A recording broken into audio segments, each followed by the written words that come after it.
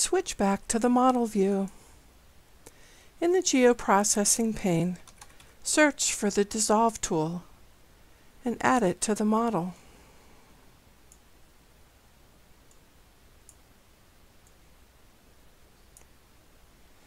Connect the snail habitat oval to the Dissolve tool as input features. Open the Dissolve tool.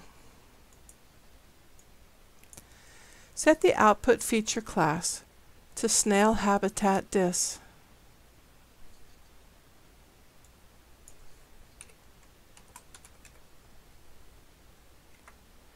and the Dissolve field to Owner.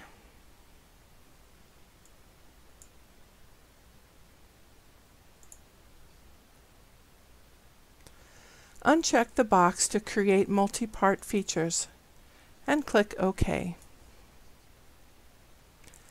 Save the model and then click Run.